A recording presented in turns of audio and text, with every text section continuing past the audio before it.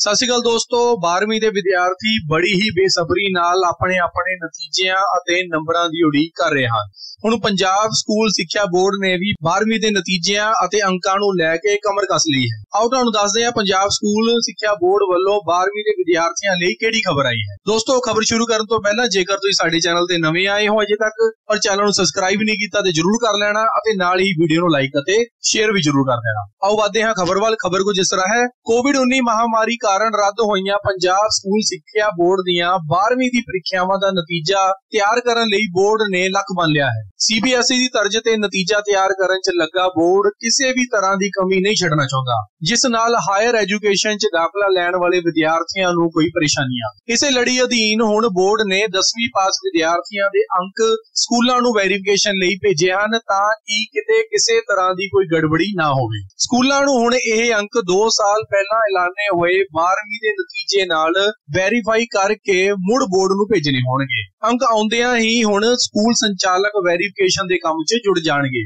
ਨਾਲ ਹੀ ਹੈਰਾਨੀ ਦੀ ਗੱਲ ਇਹ ਹੈ ਕਿ ਜ਼ਿਆਦਾਤਰ ਸਕੂਲਾਂ ਨੇ ਉਹਨਾਂ ਵਿਦਿਆਰਥੀਆਂ ਦੇ ਅੰਕ ਪੋਰਟਲ ਤੇ ਅਪਲੋਡ ਨਹੀਂ ਕੀਤੇ ਹਨ, ਜਿਨ੍ਹਾਂ ਨੇ 11ਵੀਂ ਦੀ ਪੜ੍ਹਾਈ ਦੂਜੇ ਸੂਬਿਆਂ ਤੋਂ ਕੀਤੀ ਹੈ। ਇਸੇ ਲੜੀ ਤਹਿਤ ਬੋਰਡ ਨੇ ਸਕੂਲਾਂ ਨੂੰ ਨਿਰਦੇਸ਼ ਦਿੱਤੇ ਹਨ ਕਿ ਜਿਨ੍ਹਾਂ ਸਕੂਲਾਂ ਵੱਲੋਂ ਹੋਰਨਾਂ ਸੂਬਿਆਂ ਤੋਂ ਆਏ ਪ੍ਰੀਖਿਆਰਥੀਆਂ ਦਾ 11ਵੀਂ ਕਲਾਸ ਦਾ ਨਤੀਜਾ ਬੋਰਡ ਪੋਰਟਲ ਤੇ ਅਪਲੋਡ ਨਹੀਂ ਕੀਤਾ, ਅਜਿਹੇ ਵਿਦਿਆਰਥੀਆਂ ਦਾ ਨਤੀਜਾ 7 ਜੁਲਾਈ ਤੱਕ ਅਪਲੋਡ ਕੀਤਾ ਜਾਵੇ। ਨਾਲ ਹੀ ਸਾਰੇ ਪ੍ਰੀਖਿਆਰਥੀਆਂ ਦੇ ਦਸਤਾਵੇਜ਼ ਦੇ ਸੰਬੰਧ 'ਚ ਰਿਕਾਰਡ ਸਕੂਲ ਪੱਧਰ ਤੇ ਰੱਖਿਆ ਜਾਵੇ ਤਾਂ ਕਿ ਲੋੜ ਪੈਣ ਤੇ ਸੰਬੰਧਿਤ ਸ਼ਾਖਾ ਨੂੰ ਪੇਸ਼ ਕੀਤਾ ਜਾ ਸਕੇ। ਬੋਰਡ ਨੇ ਕਿਸੇ ਹੋਰ ਸੂਬੇ ਜਾਂ ਬੋਰਡ ਤੋਂ 10ਵੀਂ ਪਾਸ ਕਰਨ ਵਾਲੇ ਵਿਦਿਆਰਥੀਆਂ ਦਾ 10ਵੀਂ ਅਤੇ 11ਵੀਂ ਦਾ ਨਤੀਜਾ ਚੈੱਕ ਕਰਨ ਅਤੇ ਬੋਰਡ ਪੋਰਟਲ ਤੇ ਅਪਲੋਡ ਕਰਨ ਸੰਬੰਧੀ ਸਕੂਲਾਂ ਨੂੰ ਦਿਸ਼ਾ ਨਿਰਦੇਸ਼ ਜਾਰੀ ਕੀਤੇ ਹਨ। ਅੱਜ ਮੈਂ ਤੁਹਾਨੂੰ ਦੱਸਣ ਜਾ ਰਿਹਾ ਹਾਂ ਇੱਕ ਨਵੀਂ ਐਪ ਦੇ ਬਾਰੇ, ਜੋ ਸਟੂਡੈਂਟ ਵਿੱਚ ਕਾਫੀ ਜ਼ਿਆਦਾ ਪਪੂਲਰ ਹੋ ਰਹੀ ਹੈ। ਚਾਹੇ ਕੋਈ ਕੁਐਸਚਨ ਹੋਵੇ ਡਾਊਟ ਹੋਵੇ ਜਾਂ ਫਿਰ ਕੋਈ ਕਨਸੈਪਟ ਨਾ ਸਮਝ ਵਿੱਚ ਆ ਰਿਹਾ ਹੋਵੇ। ਬੋਰਡ ਹੋਣ ਜਾਂ ਜੇਈ ਨੀਟ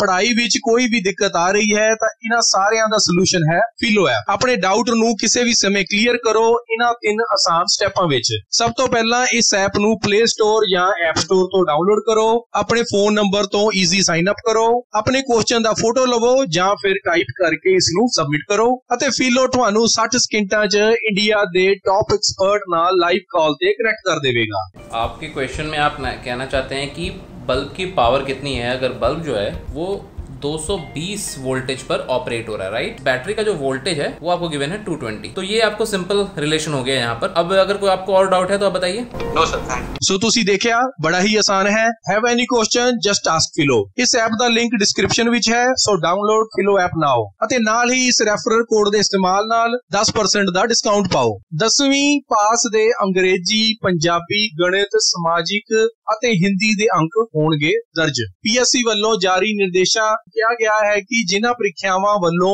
ਬੋਰਡ ਤੋਂ 10ਵੀਂ ਪਾਸ ਕੀਤੀ ਗਈ ਹੈ, ਉਹਨਾਂ ਦੇ ਮੁੱਖ ਵਿਸ਼ਿਆਂ ਅੰਗਰੇਜ਼ੀ, ਪੰਜਾਬੀ, ਗਣਿਤ, ਸਮਾਜਿਕ ਅਤੇ ਹਿੰਦੀ ਦੇ ਹੀ ਅੰਕ ਦਰਜ ਕੀਤੇ ਜਾਣਗੇ। ਨਾਲ ਹੀ ਬੋਰਡ ਨੇ ਸਾਫ਼ ਕੀਤਾ ਹੈ ਕਿ ਗ੍ਰੇਡਿੰਗ ਵਾਲੇ ਵਿਸ਼ਿਆਂ ਦੇ ਅੰਕ ਦਰਜ ਨਾ ਕੀਤੇ ਜਾਣ। ਹੋਰਨਾਂ ਰਾਜਾਂ ਅਤੇ ਕਿਸੇ ਹੋਰ ਬੋਰਡ ਤੋਂ ਆਏ ਪ੍ਰੀਖਿਆਰਥੀ ਦੇ ਜ਼ਰੂਰੀ ਵਿਸ਼ਿਆਂ 'ਚੋਂ ਪ੍ਰਾਪਤ ਅੰਕ ਅਤੇ ਸੰਬੰਧਿਤ ਵਿਸ਼ੇ ਦੇ ਕੁੱਲ ਅੰਕ ਦਰਜ ਕੀਤੇ ਜਾਣ। ਜੇਕਰ ਕਿਸੇ ਬੋਰਡ ਵੱਲੋਂ ਪ੍ਰੀਖਿਆਰਥੀ ਦੇ ਨਤੀਜੇ ਦਾ ਅੰਕਾਂ ਦੀ ਬਜਾਏ ਗ੍ਰੇਡ ਦਰਜ ਕੀਤੇ ਹਨ, ਤਾਂ ਗ੍ਰੇਡ ਨਾਲ ਸੰਬੰਧਿਤ ਬੋਰਡ ਵੱਲੋਂ ਦਿੱਤੇ ਗਏ ਫਾਰਮੂਲੇ ਦੇ ਮੁਤਾਬਕ ਅੰਕਾਂ 'ਚ ਬਦਲ ਤੇ ਬੋਰਡ ਪੋਰਟਲ ਤੇ ਦਰਜ ਕੀਤੇ ਦਰਜ ਕੀਤੇ ਜਾਣ। ਅੰਕਾਂ 'ਚ ਕਰਨਾ ਹੈ ਬਦਲਾ ਤਾਂ I want to change marks ਤੇ ਕਰਨਾ ਹੋਵੇਗਾ ਕਲਿੱਕ ਬੋਰਡ ਨੇ ਸੁਝਾਅ ਦਿੱਤਾ ਹੈ ਕਿ ਜੇਕਰ 10ਵੀਂ ਦਰਜ ਅੰਕ ਸਹੀ ਨਹੀਂ ਹੈ, ਤਾਂ I want to change mark ਤੇ ਕਲਿੱਕ ਕਰਦੇ ਹੋਏ ਅੰਕ ਦਰਜ ਕੀਤੇ ਜਾਣ ਅਤੇ ਪ੍ਰੀਖਿਆਰਥੀ ਕੋਲੋਂ ਸਰਟੀਫਿਕੇਟ ਦੀ ਅਟੈਸਟਡ ਕਾਪੀ ਲੈ ਕੇ ਨਾਲ ਅਪਲੋਡ ਕੀਤੀ ਜਾਵੇ। ਫਾਈਨਲ ਨਤੀਜਾ ਸਬਮਿਟ ਕਰਨ ਤੋਂ ਪਹਿਲਾਂ ਰਫ ਪ੍ਰਿੰਟ ਆਊਟ ਲੈ ਕੇ ਸੰਬੰਧਿਤ ਵੇਰਵਿਆਂ ਨੂੰ ਹਰ ਪੱਖ ਤੋਂ ਜਾਂਚ ਲਿਆ ਜਾਵੇ ਤਾਂ ਕਿ ਉਹਨਾਂ ਵਿੱਚ ਕਿਸੇ ਤਰ੍ਹਾਂ ਦੀ ਤਰੁੱਟੀ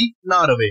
ਸੋ ਦੋਸਤੋ ਹੁਣ ਪੰਜਾਬ ਸਕੂਲ ਐਜੂਕੇਸ਼ਨ ਬੋਰਡ ਨੇ ਵੀ 12ਵੀਂ ਦੇ ਨਤੀਜਿਆਂ ਨੂੰ ਐਲਾਨਣ ਲਈ ਕਮਰ ਕੱਸ ਲਈ ਹੈ। ਉਹਨਾਂ ਨੇ ਪੂਰਾ ਇੱਕ ਪ੍ਰੋਸੈਸ ਵੀ ਤਿਆਰ ਕਰ ਲਿਆ ਹੈ। ਜਿਵੇਂ ਕਿ ਤੁਹਾਨੂੰ ਦੱਸਿਆ ਸੀ 10ਵੀਂ ਅਤੇ 11ਵੀਂ ਦੇ ਨੰਬਰਾਂ ਨੂੰ ਵੈਰੀਫਾਈ ਕਰਨ ਲਈ ਬੋਰਡ ਨੇ ਸਕੂਲਾਂ ਨੂੰ ਨੰਬਰਾਂ ਦੀ ਵੈਰੀਫਿਕੇਸ਼ਨ ਲਈ ਸ਼ੀਟਾਂ ਭੇਜ ਦਿੱਤੀਆਂ ਹਨ। ਜਿੱਦਾਂ ਹੀ ਨੰਬਰ ਮਾਰਕ ਸ਼ੀਟ ਵੈਰੀਫਾਈ ਹੋ ਕੇ ਬੋਰਡ ਕੋਲ ਵਾਪਸ ਪਹੁੰਚਣਗੀਆਂ ਉਸੇ ਤਰ੍ਹਾਂ ਹੀ ਬੋਰਡ ਨਤੀਜਿਆਂ ਨੂੰ ਅਪਲੋਡ ਕਰਨ ਦਾ ਕੰਮ ਸ਼ੁਰੂ ਕਰ ਦੇਵੇ। ਇੱਥੇ ਇੱਕ ਹੋਰ ਜ਼ਰੂਰੀ ਸੂਚਨਾ ਹੈ, ਜੇਕਰ ਕਿਸੇ ਵਿਦਿਆਰਥੀ ਦੇ ਨੰਬਰ ਦੀ ਬਜਾਏ ਗ੍ਰੇਡ ਆਏ ਹਨ, ਤਾਂ ਬੋਰਡ ਨੇ ਫਿਲਹਾਲ ਉਹਨਾਂ ਨੂੰ ਨੰਬਰ ਨਾ ਦੇਣ ਲਈ ਕਿਹਾ ਹੈ ਤੇ ਕਿਹਾ ਹੈ ਕਿ ਉਹ ਬੋਰਡ ਵੱਲੋਂ ਦਿੱਤੇ ਗਏ ਗ੍ਰੇਡਿੰਗ ਮਾਰਕਸ ਨੂੰ ਅੰਕਾਂ ਦੇ ਵਿੱਚ ਤਬਦੀਲ ਕਰਕੇ ਉਹਨਾਂ ਦੇ ਨੰਬਰ ਲਗਾਏ ਜਾਣ ਤੇ ਜੇਕਰ ਫਿਰ ਵੀ ਕਿਸੇ ਵਿਦਿਆਰਥੀ ਦੇ 10ਵੀਂ ਦੇ ਅੰਕ, ਅੰਕਾਂ ਦੇ ਵਿੱਚ ਕੁਝ ਫ਼ਰਕ ਆਂਦਾ ਹੈ ਜਾਂ ਨੰਬਰ ਜ਼ਿਆਦਾ ਲੱਗੇ ਹਨ ਜਾਂ ਘੱਟ ਲੱਗੇ ਹਨ, ਤਾਂ ਉਹ I want to change marks the option ਰੱਖੀ ਗਈ ਹੈ। ਉਸ ਤੇ ਕਲਿੱਕ ਕਰਕੇ ਆਪਣਾ origignal ਸਰਟੀਫਿਕੇਟ ਦੀ ਟੈਸਟਡ ਕਾਪੀ ਨਾਲ ਲਗਾ ਕੇ ਆਪਣੇ ਨੰਬਰ ਬਦਲਵਾ ਸਕਦਾ ਹੈ। ਸੋ ਦੋਸਤੋ, ਇਹ ਸੀ ਇਸ ਵੇਲੇ ਦੀ 12ਵੀਂ ਦੇ ਵਿਦਿਆਰਥੀਆਂ ਨੂੰ ਲੈ ਕੇ ਵੱਡੀ ਖਬਰ। ਜਲਦੀ ਹੀ ਨਵੀਂ ਵੀਡੀਓ ਵਿੱਚ